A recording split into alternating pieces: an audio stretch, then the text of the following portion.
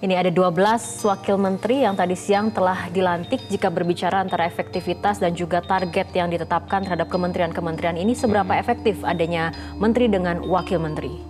Ya kalau menurut saya sih kalau yang berat, berat itu artinya pekerjaannya banyak dan harus ke mana-mana itu misalnya Menteri Luar Negeri, Menteri uh, Keuangan, oke lah gitu ya, supaya uh, ada yang membantu.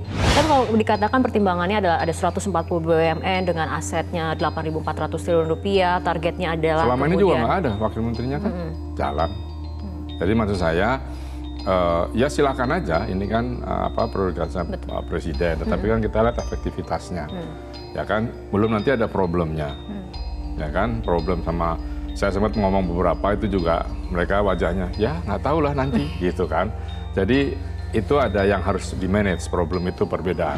menurut saya jangan pes- terlalu pes- apa skeptis itu skeptis itu karena tiap organisasi pasti ada permasalahan pasti.